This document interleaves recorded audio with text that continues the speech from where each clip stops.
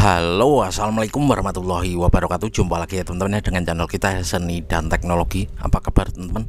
Semoga kita semua selalu dalam keadaan sehat walafiat ya. Amin Oke teman-teman ya di video kali ini kita kedatangan HP Realme C25 atau biasa disebut untuk nomor modelnya itu RMX 3191 ya teman-teman ya. Oke, jadi di sini kita akan membahasnya teman-teman ya bagaimana cara mengatasi tampil iklan terus-menerus pada HP Realme C25 atau untuk Realme lainnya atau untuk merek lainnya nanti sama ya teman-teman ya. Metodenya sama seperti ini bisa kita gunakan ya untuk semua tipe ataupun merek HP teman-teman. Tentunya seperti biasa sebelum lanjut jangan lupa dibantu like ya, di subscribe dan komen nanti jika ada yang ditanyakan itu teman-teman Oke, bisa kita lihat ya di sini tampil iklan terus-menerus. Tentunya ini sangat mengganggu untuk si pengguna ya teman-teman Kita harus meng close nya ya. Kita close secepat mungkin jika sudah tampil iklan terus-menerus seperti ini.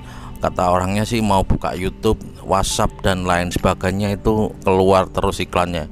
Oke, kita cek dulu untuk tipenya ya tentang ponsel bisa kita lihat di sini. Kebetulan di sini sudah diganti blue ya untuk nama perangkatnya. Kalau aslinya kalau kita cek di Google ya teman-teman ya kalau model RMX 3191 itu ini aslinya Realme C25 ya teman-teman. Oke bisa kita lihat di sini untuk modelnya ya, RMX 3191 kalau kita cek di Google ini adalah Realme C25 ya teman-teman Oke jadi yang pertama yang perlu diketahui ya kenapa HP ini bisa keluar iklan itu biasanya karena aplikasi itu sendiri ya teman-teman banyak sekali untuk jenis aplikasi bisa antivirus ya atau game-game itu yang sangat sering terjadi ya teman-teman yang menyebabkan iklan.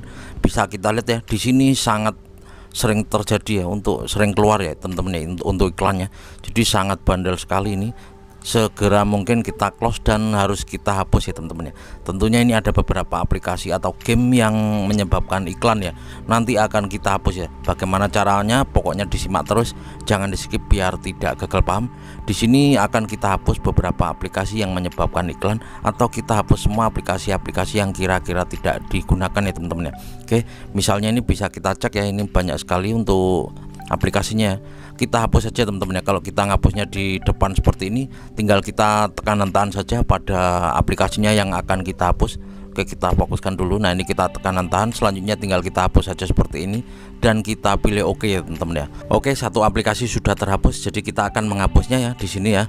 Untuk cara menghapus yang sering kita gunakan Cara kedua kita buka pengaturan nih teman-teman ya. Selain dihapus di depan atau di beranda tadi Kita tekan lama pada aplikasinya kita bisa buka di pengaturan untuk menghapusnya ya agar kelebihannya itu agar tampil semua ya untuk aplikasi-aplikasinya teman-teman ya. Kalau di depan seperti ini hanya tinggal kita tekan tahan saja. Jika memang bisa dihapus ya contohnya ini ya Oke tinggal kita hapus saja lalu kita pilih oke. Kalau kalian tekan lama tapi tidak ada tulisan hapus berarti itu aplikasi bawaan tentunya tidak bisa dihapus ya teman-teman oke? Selanjutnya kita akan menggunakan metode cara kedua atau cara yang sering kita gunakan ya. Kita buka pengaturan selanjutnya kita cari manajemen aplikasi ya teman-teman oke? Langsung saja kita buka pengaturan. Video ini monggo di share ya ke teman kalian jika nanti siapa tahu HP-nya lagi terjadi seperti ini ya. Atau kalian bisa share video ini ke teman kalian atau sosial media kalian ya. Atau ke keluarga kalian ya siapa tahu HP-nya lagi kendala keluar iklan terus menerus seperti ini teman-teman ya Oke bisa kita lihat di sini masih saja keluar iklan. Langsung saja kita close ya. Jika bisa di close langsung saja kita close. Kadang juga perlu mengclose beberapa kali. Oke kita buka pengaturan. Selanjutnya kita cari manajemen aplikasi.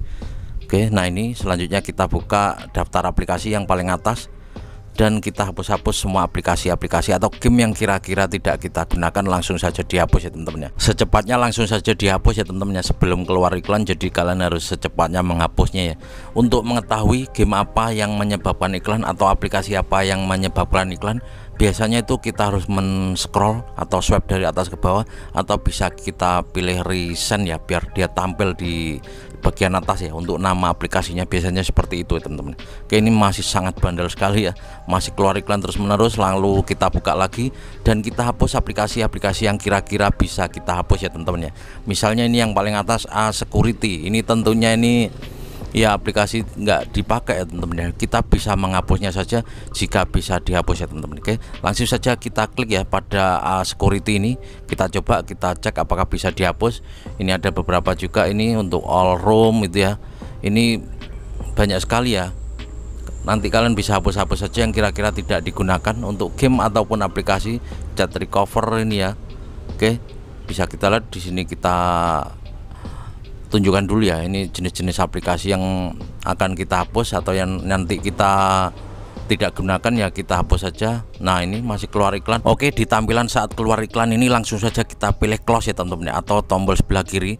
Biasanya itu dia tampil ya untuk clue clue nama aplikasi yang menyebabkan iklan itu tampil ya teman-teman. Oke sekarang ini kita swipe dan ini kita pilih recent yang tombol sebelah kiri. Nah itu bisa kita lihat ini adalah aplikasi yang menyebabkan iklan. Nice weather ini ya teman-teman ya. Oke jadi nanti akan kita hapus itu salah satu nama aplikasi yang menyebabkan iklan. Dan selanjutnya bisa kita cari atau kita cari lagi aplikasi-aplikasi yang masih menyebabkan iklan. Nah ini tampil lagi seperti ini. Segera kita close. Apakah ada nama aplikasi lain yang tampil di atasnya itu yang menyebabkan iklan. Nah ini bisa kita lihat ini adalah salah satu berarti ini ada dua teman-teman ya yang menyebabkan keluarnya iklan ya QR scanner ya teman-teman ya. Bisa kita lihat QR scanner plus nanti akan kita hapus juga. Berarti ada dua aplikasi di sini yang menyebabkan iklan ya teman-teman oke? Langsung saja kita close dan kita buka lagi pengaturan selanjutnya pengat apa manajemen aplikasi dan kita pilih daftar aplikasi. Seperti tadi ya teman-teman ya ini masih sangat bandel sekali oke kita close dulu secara secepatnya. Nah ini masih masuk di pengaturan. Selanjutnya kita cari daftar aplikasi. Oke manajemen aplikasi dan kita pilih daftar aplikasi. Dan kita cari sesegera mungkin nama aplikasi tadi ya Nice Waiter dan QR scanner tadi ya teman-teman. Oke kita cari secepatnya agar tidak tampil lagi iklannya. Oke bisa kita cek dulu. Nah ini salah satunya ya QR scanner plus ya fun QR scanner plus one ini ya tadi yang ada di tampilan atas langsung saja kita bongkar ya teman-teman ya. Bongkar itu sama saja dengan hapus ya. Oke bisa kita lihat di sini sudah kita hapus salah satu yang menyebabkan iklan. Selanjutnya kita cari apa tadi ya nice sweater. Oke kita cari nama aplikasinya atau kita bisa hapus aplikasi-aplikasi yang kira-kira tidak digunakan ya kita cari dulu nice sweater tadi kalau nggak salah. Oke bisa kita lihat. Ini adalah nama aplikasi yang tadi tampil ya di tampilan bagian atas. Nice sweater langsung saja kita hapus atau kita bongkar ya teman-teman ya. Oke sudah dua aplikasi sesuai yang tampil tadi yang kita hapus. Apakah nanti keluar iklan lagi kita cek dulu. Dan selanjutnya bisa kita hapus-hapus aplikasi-aplikasi yang tidak kita gunakan ya teman-teman ya. Jadi clue-nya seperti itu ya teman-teman ya gambarannya. Atau kata kunci aplikasi-aplikasi yang menyebabkan iklan ya teman-teman ya. Oke Bang bagaimana jika nggak ada tampilannya? Atau di atas nggak tampil untuk nama aplikasinya? Ya kalian hapus saja aplikasi-aplikasi yang kira-kira tidak digunakan seperti ini misalnya.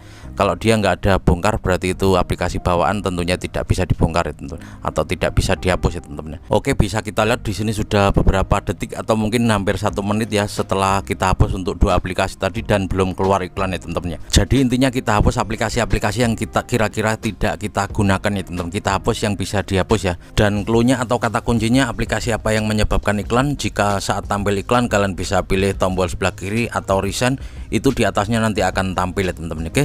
Ini tinggal kita hapus saja aplikasi-aplikasi yang tidak kita gunakan ya jadi intinya ini sudah tidak keluar iklan lagi teman-teman ya. Kita percepat untuk proses penghapusannya biar tidak kelamaan. Soalnya kalau nggak kita percepat nanti akan lama teman-teman ya. Karena ini sangat lumayan banyak untuk aplikasinya. Oke kita percepat prosesnya biar tidak kelamaan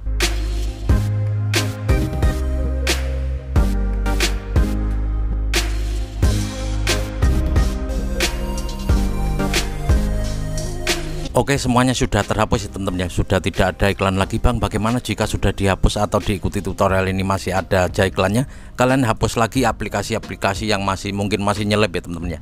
Jadi harus detail dan teliti. Jadi pastikan semuanya sudah terhapus aplikasi yang tidak kita gunakan ya. Game-game itu atau aplikasi pembersih itu ya teman-teman ya. Oke intinya jadi seperti itu. Semoga saja video ini bisa bermanfaat ya teman-teman ya. Sekali lagi terima kasih yang udah klik video ini. Jangan lupa dibantu like di subscribe dan komen nanti jika ada yang ditanyakan kalian bisa share video ini ke teman kalian saudara kalian atau sosial media kalian ya teman-teman ya. Semoga video ini bisa bermanfaat. Kita ketemu lagi di video selanjutnya dan saya akhiri. Wabillahi taufik walhidayah dan wassalamualaikum warahmatullahi wabarakatuh. Mantap sudah bersih iklannya